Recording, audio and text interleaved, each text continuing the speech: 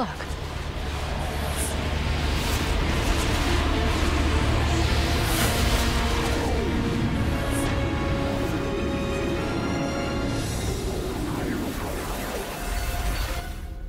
Mary Margaret.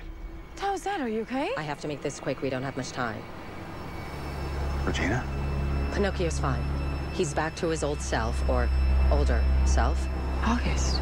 But there's something else we need to know. Gold is here. We're holed up in his cabin, and he's in town for more than just the author, but he won't tell me why, which means whatever it is he's planning, it's bad.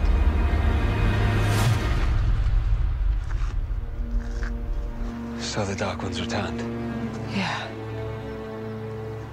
There's only one person who can help us drive him back out. He, he's here. But that's, that's